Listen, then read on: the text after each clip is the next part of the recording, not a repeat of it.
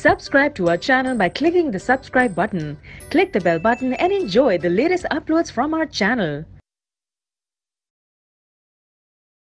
Section B, question number 6.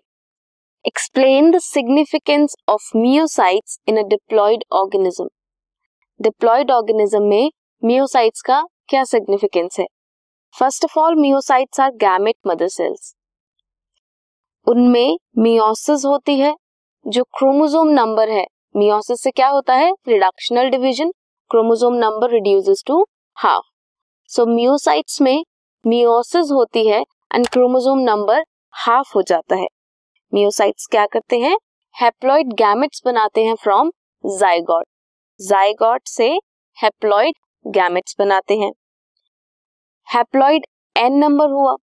अब syngamy जब होगी फ्यूजन जब होगी उससे रीस्टोर हो जाता है डिप्लॉइडी गैमेट्स बनते हैं हैप्लॉइड सिनगैमी होती है एंड डिप्लॉइड्स फॉर्म होते हैं.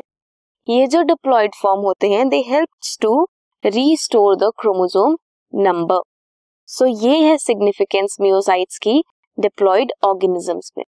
This is question number six